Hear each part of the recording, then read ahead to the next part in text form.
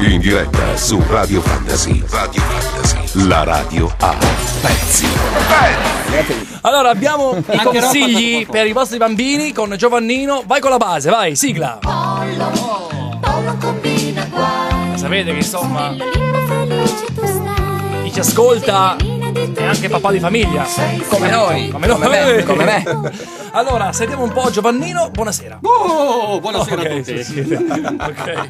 Mi rivolgo a tutti coloro che si apprestano per il primo maggio a compiere un'importante riflessione Sì. sull'importanza dei lavoratori e di Eh. loro diritti. Vabbè, insomma, adesso sono pesanti accento- oggi, eh. Un accento un po' La mia categoria è l'unica certificata a mantenere tali diritti perché contribuisce ad evitare i pericoli casalinghi di quelle filiali piccole, mini vaganti che si comportano da. Cattivoni! Oh yes! Vai tranquillo, Max, vai tranquillo. Buongiorno Max. Sveglia, sveglia, sveglia. Ok, ci sei. Vorrei dunque stimolare il rispetto per la mia categoria lavorativa. Sì. Ricordando che per me il primo maggio è anche la giornata del tato impegnato. Eh, giustamente, no? Primo ecco, maggio.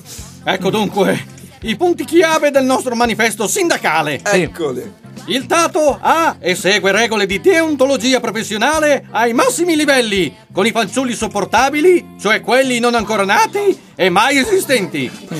Quindi Sto perdendo la voce, diciamo.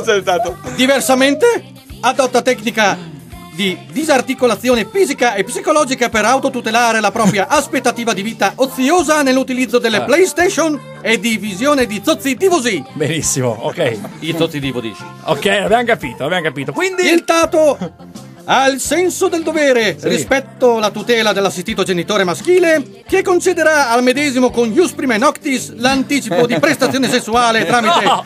compiacente moglie, sorella, cugina, miglior amica no, no, no, no, ed affini dalla terza di Reggiseno in su. Gli facciamo qualche sconto. Con Sono- tanto di avviso affisso ai mini spaccapalle a garanzia di un religioso silenzio. Ok, benissimo. Quindi concludiamo. E per concludere? Oh, ecco il consiglio, eccolo qua. Il eh. dato ha senso d'essere perché tenutario di cultura educativa, civica e disciplinante i soggetti che figureranno da adulti come, come cardine sociale delle nuove forze di Sì. sbraco. Ops, volevo dire lavoro. Va bene, va bene. Ma che purtroppo ora, per classificazione linneiana, Sì. sono ancora nell'età infantile, classificati come... Cattivoni! Era. Grazie, grazie, grazie, bene. Molto politico questo Eh sì, discorso. sì, primo maggio. Grazie Giovannino, grazie. A pezzi. Pezzi. Su Radio Fantasy.